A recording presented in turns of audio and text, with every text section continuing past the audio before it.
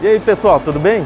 Hoje eu quero estar compartilhando com vocês os nossos mais recentes lançamentos, que são os complementos da linha de balancim.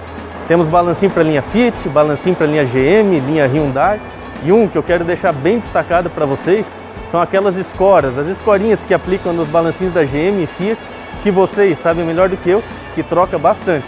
Pessoal, todos esses itens que eu mencionei agora já estão no nosso catálogo, basta atualizar e conferir.